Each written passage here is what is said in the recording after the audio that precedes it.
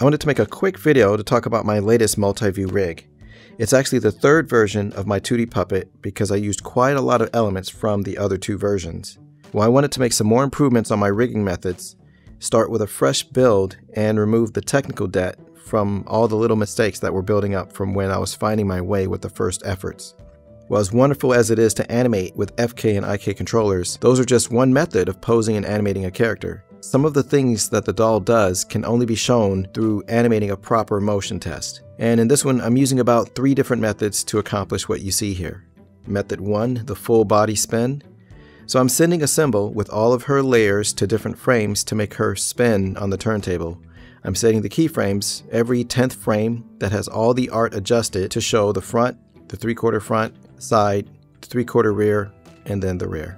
Method 2, wind blown hair. I used the Asset Warp tool to create a vector mesh out of the hair. Animate CC allows you to animate something called pins, which you place throughout the hair, which then bends and distorts the mesh as you change their position. It's a pretty clever way to animate organic or flowing objects, but for me, this method absolutely brought the performance of my machine to its knees.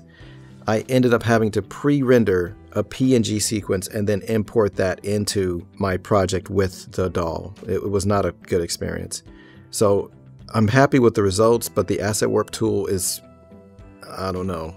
Um, I, di I didn't have fun using it to animate, but it did save me a lot of time as opposed to hand animating the hair. Method 3, Symbol Animation.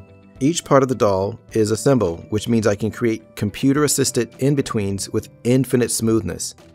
Infinite smoothness is one of the wonderful benefits of creating symbols.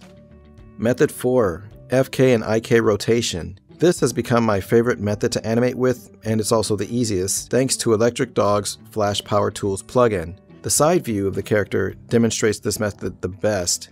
With the Kineflex tool selected, click and drag the heart manipulator hold the shift key and drag it down towards the ground to make the doll crouch. Both of the legs bend at the knees, the upper torso follows the hips movements, and the feet remain planted on an invisible floor.